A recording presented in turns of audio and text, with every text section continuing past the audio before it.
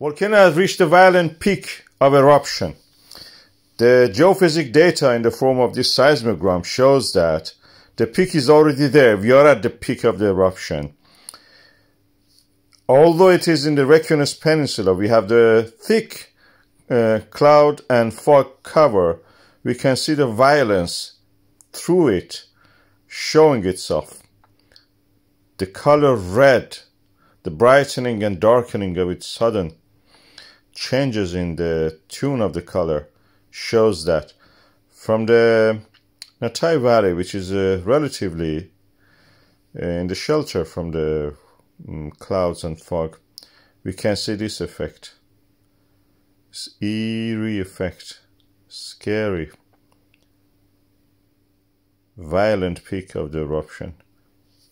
The night eruptions are the most dangerous. I hope nobody is there in this in this air, in this climate.